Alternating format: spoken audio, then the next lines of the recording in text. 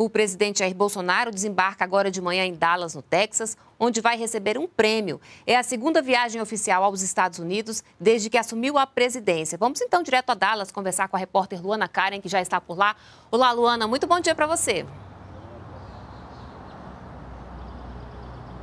Olá, Carla, bom dia. Bom dia a todos que nos acompanham aqui na TV Brasil. O presidente Jair Bolsonaro chega aqui a Dallas às 9 horas da manhã, no horário local, 11 horas da manhã, no horário de Brasília. O primeiro compromisso do presidente é um encontro com o ex-presidente dos Estados Unidos, George W. Bush, previsto para acontecer logo mais às 3 horas da tarde. Amanhã, o presidente Jair Bolsonaro participa de um almoço oferecido pelo Conselho de Relações Exteriores de Dallas-Fort Worth.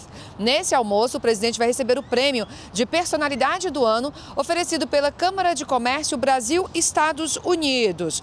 Acompanham o presidente Jair Bolsonaro nesta visita aos Estados Unidos os ministros das Relações Exteriores, de Minas e Energia, da Economia, da Secretaria de Governo e do Gabinete de Segurança Institucional. Essa é a segunda vez que o presidente Jair Bolsonaro vem aos Estados Unidos desde que tomou posse em janeiro deste ano. E a previsão é que ele retorne a Brasília amanhã no final do dia. Voltamos aos estúdios com você, Carla. Obrigada, Luana. Bom trabalho aí para você.